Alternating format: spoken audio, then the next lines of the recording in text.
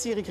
Et non, nous ne sommes pas en direct du bureau du maire cette semaine. Ces 30 prochaines minutes sont destinées à vous éclairer et à vous informer sur les grands dossiers et bien sûr les orientations de la ville de Laval. Et pour nous en parler, bien sûr, Monsieur le maire, Marc Demers. Monsieur Demers, bienvenue. Quasiment chez vous, dans le fond. Effectivement, euh, la place des aînés, c'est un joyau. C'est un joyau qui euh, a pris naissance à Laval et qui a été imité par d'autres villes par la suite. Et pour nous, c'est important aussi d'informer nos citoyens des services qui sont offerts. Place des, aînés fête ses 20 ans cette année. C'est plus de 6 000 membres, 125 activités par semaine. Vous avez de l'exercice physique, de la danse, toutes les, formes d'art et euh, une place où faire des rencontres formidables et se tenir en santé et actif pour nos aînés.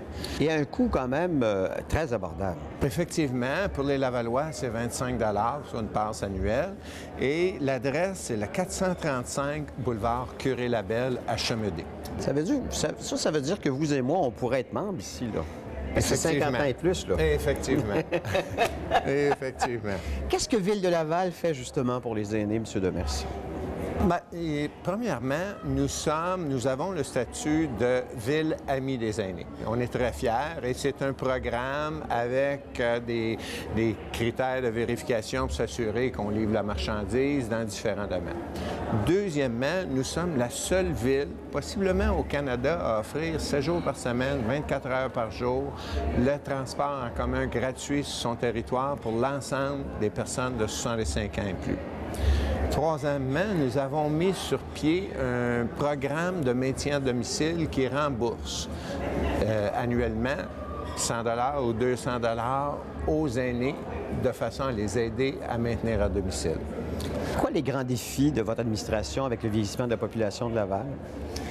C'est d'offrir euh, aux aînés un environnement où il fera bon vivre, où ils auront accès à des services de proximité, accès à un transport pour être mobile, pouvoir se déplacer et aussi des loisirs. Nous sommes très fiers de plusieurs maisons euh, qu'on parle euh, de la salle... Euh, la Maison des Arts de Laval. La Maison des Arts de Laval qui vient de gagner un prix et évidemment la salle André Mathieu qu'il y a une diffusion euh, parmi les meilleurs artistes au Québec qui, passent là et souvent à un coût moindre que ce que ça coûte à Montréal pour aller voir les spectacles. On va boucler ce sujet-là vers la fin de l'émission parce qu'effectivement, on va parler des initiatives culturelles dans les prochaines années. Je sais que vous avez eu des rencontres très. Euh, on va commencer avec un petit peu plus corsé, puis ensuite, au fur et à mesure, on va s'en aller vers d'autres sujets.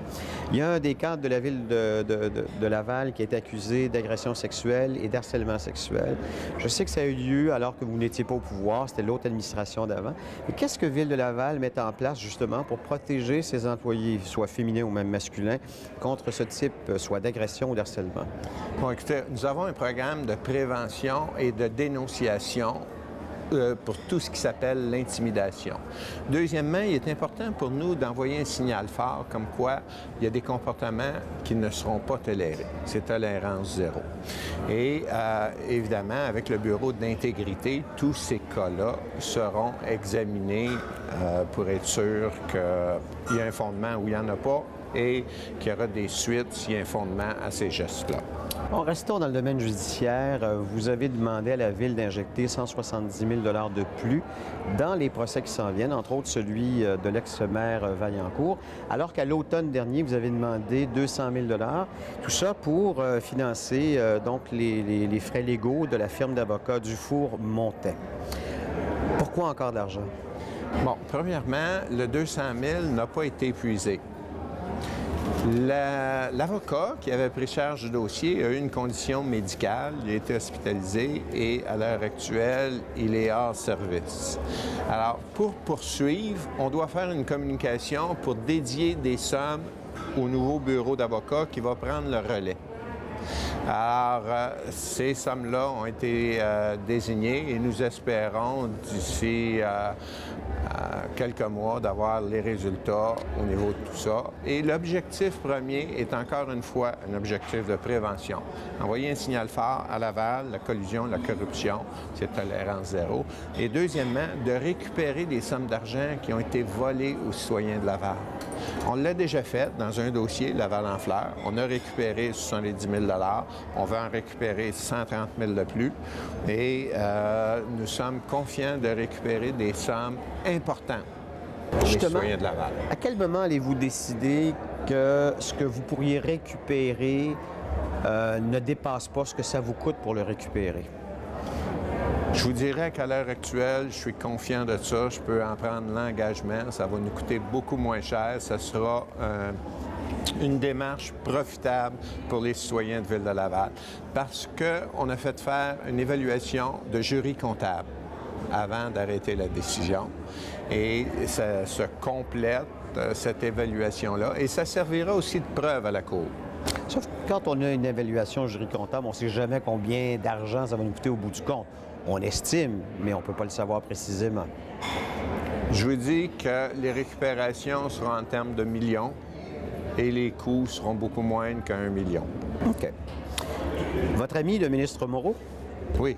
a dit qu'il était prêt à reculer sur sa promesse d'envoyer des chèques à chacun des citoyens ou citoyennes de Laval que vous aurez surtaxés. Vous vous souviendrez de, bien sûr de ce dossier litigieux entre vous et Québec.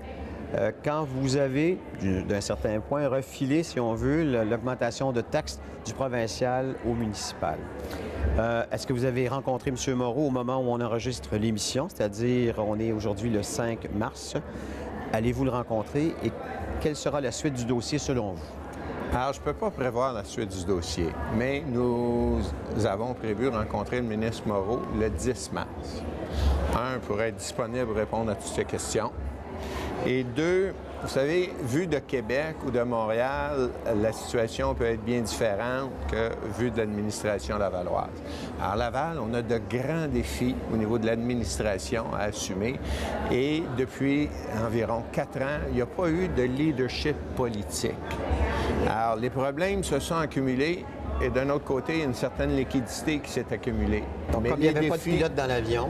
Effectivement. Les défis au niveau monétaire sont beaucoup plus grands que euh, l'argent disponible. Donc, et je vous donne un, exemple, la dette à long terme de Ville de Laval est environ 750 millions.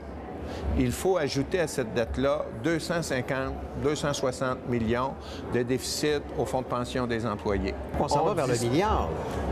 On dispose d'environ 110 millions de liquidités. Et évidemment, il y a les défis quotidiens, les problèmes, les urgences, comme la température nous envoie des défis, des urgences, il faut réagir. Une seule tempête de neige à Laval coûte entre 5 et 8 millions. Alors, si la nature décide d'envoyer deux tempêtes de neige de plus que ce qu'on a prévu, c'est 15 millions, grosso modo, que ça vient de coûter aux citoyens de Laval. On a déjà eu cet échange-là, vous et moi, et je le comprends. Est-ce que le ministre Moreau le comprend, lui? Écoutez, moi, j'ai pas de raison de douter de la bonne foi du ministre Moreau et je veux pas qualifier son comportement. Moi, je peux assurer le ministre de la bonne foi l'administration lavalloise et lui vendre qu'on a un but commun, c'est de bien administrer et de défendre les intérêts de nos concitoyens.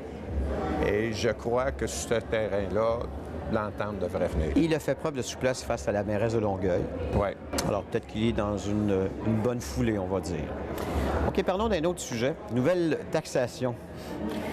Le premier ministre du Québec, Philippe Couillard, rejette dans la Cour des municipalités la responsabilité de hausser les taxes pour financer le développement et l'entretien des transports collectifs. C'est une bonne ou une mauvaise nouvelle, ça? Ben, écoutez, euh, peu importe la forme de taxation, c'est toujours le citoyen qui est taxé. Absolument. À l'origine. Bon. Euh, je crois que c'est académique. Toutefois, il y a plusieurs villes au niveau international qui l'ont fait, notamment Vancouver, Barcelone et d'autres villes.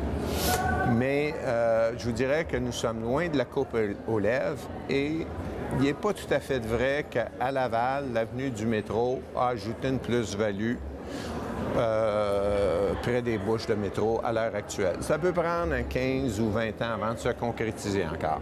Parce que là, on parlait de taxer plus spécifiquement les gens qui ont accès justement à des bouches de métro, que ça venait augmenter la valeur, la plus-value, si on veut, de certains terrains ou certains emplacements. Mais euh, c'est une taxe supplémentaire, ça. Si jamais on, on redonne aux villes, je dirais, le devoir de taxer pour développer le transport en commun, ça regarde pas bien pour la poche des citoyens, là.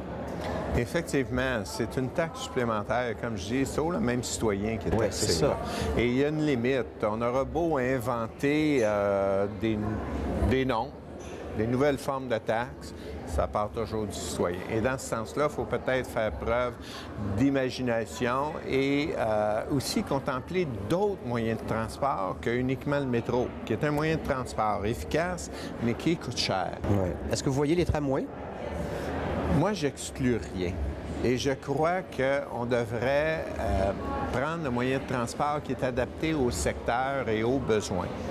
Alors, je vois plusieurs autres grandes villes à l'international. Paris, vous avez des métros sous terre, hors Mhm. Et de terre, surface, Il y a ouais. le train et tout ça communique ensemble et ce qui donne un moyen de transport en commun, économique, fiable, et c'est ce que les gens recherchent. Justement, je reviendrai avec des questions euh, qui ont rapport à la fluidité de la circulation euh, à Laval. Parlons, euh, entre autres, de, de vos opposants. Parce que vous avez reçu le second et dernier versement du montant de 2,3 millions. Et euh, il y a certains conseillers de l'opposition officielle, dont entre autres Michel Trottier, qui souhaiteraient avoir les détails sur les dépenses. Comment ces argents-là sont dépensés? Je, je trouve que sa, sa- sa requête est légitime, non? Oui, et d'ailleurs, l'ensemble du conseil municipal a voté pour ces budgets-là. Oui. Aujourd'hui, tout ce qu'on fait, c'est qu'on autorise le transfert d'argent. La corporation du 50e est soumise aux règles comptables les plus rigoureuses et aussi à la juridiction de la Alors, une fois que les dépenses auront été effectuées et autorisées, euh, tous les chiffres seront sur la table. Et ça, c'était une condition sine qua non de la mise en place de la Corporation des fêtes du 50e. Alors, au niveau de l'imputabilité, de la notion de rendre compte, nos standards sont parmi les plus élevés des municipalités au Québec. On parle quand même d'un budget de 4,2 millions au bout du compte pour les euh, festivités du 50e. Non, c'est tout près de 8 millions. Alors, il y a 4,2 par la municipalité. Vous avez raison. Et nous avons deux personnes qui ont accepté la présidence du comité de financement. Alors, M. Alain Bouchard, des propriétaires des Couche-Tard, qui est une compagnie euh, multinationale, qui est- dont le siège social est à Laval, et M. Jeff Molson, propriétaire du Canadien de Montréal. Eux ont comme mandat euh, d'essayer de- d'avoir environ 4 millions de commanditaires. Vous avez des bons joueurs dans l'équipe, en tout cas. Effectivement. On parlait de stationnement, en fait, de circulation. Il y a un de vos euh, conseillers à l'opposition, M. Pierre Antian, qui a reçu l'appui aussi de d'autres conseillers, euh, par rapport à du stationnement alternatif intelligent. C'est-à-dire que lui, ce qu'il propose, c'est que selon les tempêtes de neige, selon la circulation, on pourrait stationner un jour d'un côté, un jour de l'autre. C'est pas de mauvaise idée, ça aussi. Bon, tout l'aspect du stationnement ne, peut pas être pris isolément. Ça, ça l'influence toute la stratégie du déneigement. Alors nous, l'an passé, en 2014, et c'est un engagement électoral de notre parti, on a donné le mandat à la direction générale et des ingénieurs spécialisés, ainsi que les gens at- attitrés au déneigement, de revoir toute la politique concernant le stationnement à Laval. Maintenant, c'est un travail qui est minutieux, qui doit être fait par des experts et qui nécessite un certain temps. On attend les recommandations de la direction générale. Et la dernière chose que je veux faire, c'est de me substituer en tant que maire et décider que j'ai l'expertise pour implanter du stationnement intelligent ou l'exemple que je dis souvent, j'irai pas éteindre des feux, j'ai pas la compétence des pompiers et je risque de causer plus de dommages. Alors, M. Antien est au courant de ça, est au courant que la direction générale a le mandat de faire cet examen. Maintenant, il décide entre-temps de faire du millage son idée, mais nous, on va attendre des recommandations de nos experts. Ça, c'est pas la première fois. Il y avait aussi une question de déneigement pendant l'hiver. Une question de déneigement et malheureusement, je vous donne un exemple. M. Antien a sorti un communiqué de presse disant que Ville de Laval, il y avait, il y avait 50 000 remorquages par année. Écoutez, les chiffres, c'est 2000. Mais il l'a sorti dans son communiqué de presse. Alors, dernière chose qu'on va faire, c'est de prendre des décisions basées sur des faussetés. Ou d'improviser quelque chose d'aussi important que le déneigement. Parce que le déneigement, c'est aussi la sécurité des gens. C'est l'accès à nos véhicules d'urgence. C'est l'accès à nos CLSC, à nos écoles, à l'hôpital. Alors, on ne peut pas improviser et on ne peut pas jouer avec ça. Parlons justement de transparence. Vos euh, procédures du, euh, des séances de conseil vont changer. Les citoyens et citoyennes pourront désormais poser des questions non pas à la fin de la séance, mais au début. Effectivement. Ce qu'on a fait, c'est qu'on a visité plusieurs grandes villes. On a mis à contribution notre contentieux, le greffe, pour examiner les règlements qui existaient partout. Et le mandat est de donner le meilleur service aux citoyens. Alors, les citoyens pourront poser leurs questions dès le début et le règlement devrait être adopté à la prochaine séance du Conseil au début du mois de mars et applicable au mois d'avril. Alors, on a voulu s'inspirer des meilleures pratiques et d'être sûr de ne pas improviser. Et Mme Joaquin, Christiane, la présidente du Conseil, accompagnée de différents experts, ont puisé les meilleures idées un peu partout. Est-ce que ça veut dire qu'il y aura deux périodes de questions, une au début et une à la fin à ce moment-là? Il y aura une période de questions, mais il faut se rappeler une chose. Je reçois quotidiennement des questions et des commentaires par courriel, par courrier, et c'est un moyen aussi, les citoyens ne sont pas obligés de se présenter à l'Assemblée du Conseil. Les citoyens peuvent s'adresser et je vous assure que chaque demande que j'ai, le citoyen a une réponse. Et souvent plus rapidement que d'attendre un mois. La web diffusion, ça s'en vient, ça, M. le maire? Ça s'en vient. C'est une question de mois. On espère euh, d'ici peut-être le mois d'avril ou le mois de mai. Alors, les gens, dans le confort de leur maison, pourront regarder en direct ou en différé la séance du conseil et pourront même sélectionner des items et aller voir directement ce qui a été dit à chacun des, des Ça dure combien une séance du conseil de Ville de Laval habituellement? Ça dure combien oui, de temps? Euh, je vous dirais que ça finit vers, ça commence vers 19h, ça finit vers 22h30 très souvent et on en a eu qui ont été euh, beaucoup plus longs. Donc, euh, il va y avoir de la matière à se mettre sous la dent. J'ai rencontré des citoyens dans mon bureau à, minuit ah, soir. oui, ça vous est arrivé. Mais on ne peut pas mettre un terme à une séance du Conseil quand un citoyen nous arrive avec un problème légitime et authentique. Évidemment, il y a des gens qui sont là parce que c'est leur passe-temps ou ils ont un intérêt c'est bien, mais il y a des gens aussi qui sont là avec des problèmes très ponctuels et très réels. Feu de circulation intelligent pour le transport en commun, non seulement le transport en commun, mais également pour les automobilistes. Il y a un budget qui a été voté de 35 millions. Là-dessus, la Ville de Laval devra en utiliser 25 parce qu'il y a une date butoir là-dessus qui est le 31 décembre 2016. Je n'aurai pas le temps de tout faire. La date butoir est fixée par le programme euh, du gouvernement. Oui. Et évidemment, ça a pris de cours plusieurs municipalités, mais je vous dirais que Ville de Laval ont été très proactifs et notre commission de transport a réagi très rapidement.